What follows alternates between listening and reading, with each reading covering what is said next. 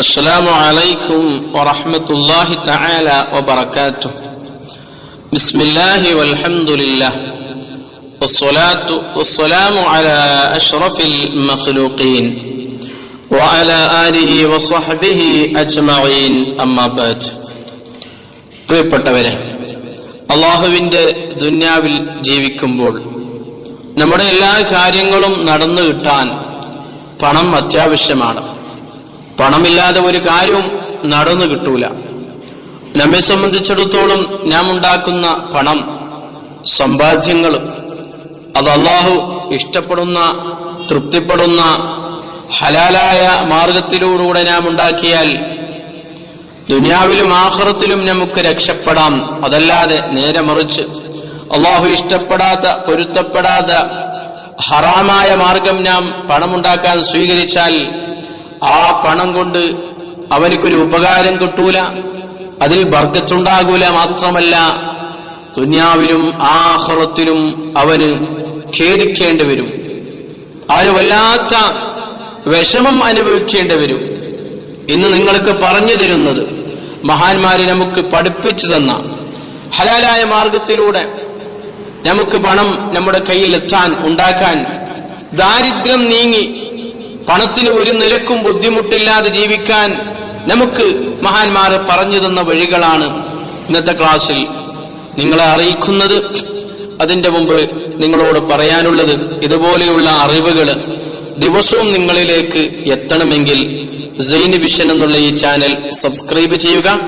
തൊട്ടടുത്തുള്ള ബെല്ലൈക്കനും കൂടി അമർത്തിയാൽ എല്ലാ ക്ലാസ്സുകളും ഉടനെ തന്നെ നിങ്ങൾക്ക് ലഭിക്കുന്നതാണ്. അള്ളാഹു തൗഫീക്ക് ചെയ്യട്ടെ. പ്രിയപ്പെട്ടവരെ അസ്മാഉൽ ഹുസന നമുക്കൊക്കെയും പരിചയമുള്ള അള്ളാഹുവിന്റെ തൊണ്ണൂറ്റൊമ്പത് പേരുകളും വലിയ അത്ഭുതമാണത്.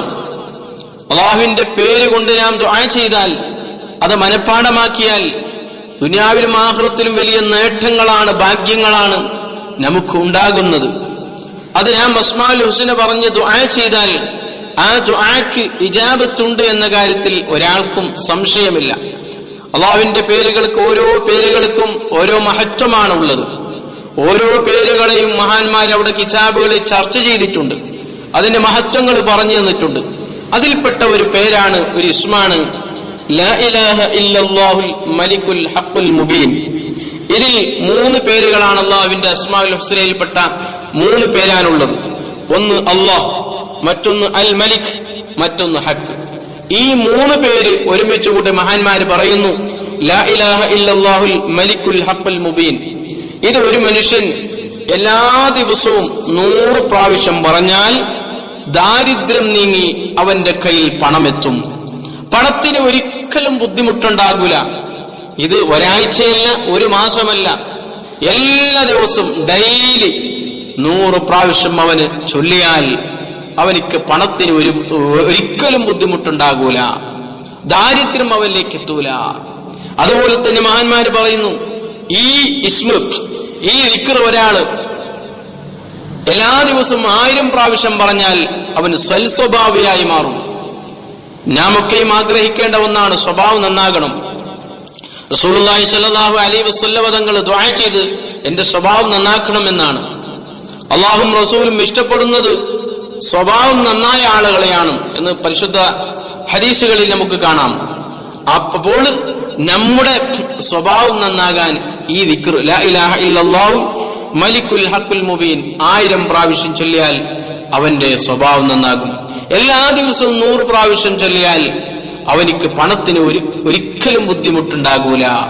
ഇത് മഹാന്മാർ അവിടെ കിതാബുകളിൽ പറഞ്ഞ കാര്യമാണ്. അതുകൊണ്ട് ഇത്തരത്തിലുള്ള നമുക്ക് ചെല്ലാൻ പറ്റിയ ഈസിയായി എളുപ്പത്തിൽ ചെല്ലാൻ പറ്റിയ ദിക്കറുകൾ നാം ചൊല്ലുക നമ്മുടെ ജീവിതം നാം ധന്യമാക്കുക. ദിക്കറുകൾ ചൊല്ലിയാൽ നാം പണം മാത്രമല്ല നമുക്ക് ദുന്യവിയും മുഹ്റയുമായ ധാരാളം നേട്ടങ്ങൾ വേറെയുമുണ്ട്. നാം ആഗ്രഹിക്കുന്ന ഒന്നാണ് പണമായതുകൊണ്ടാണ് ഇന്നത്തെ വിഷയം അതിനെക്കുറിച്ച് പറഞ്ഞത്. ദിക്കർ ചൊല്ലിയാൽ നമുക്ക് പണം മാത്രമല്ല നമുക്ക് കിട്ടുന്നത്. വലിയ നേട്ടങ്ങളും നമ്മുടെ കാര്യങ്ങളെല്ലാം നാം അറിയാതെ നടന്നു പോകുന്നു എല്ലാം അള്ളാഹു എളുപ്പത്തിലാക്കി തരട്ടെ. آمين برحمتك يا أرحم الراحمين. السلام عليكم.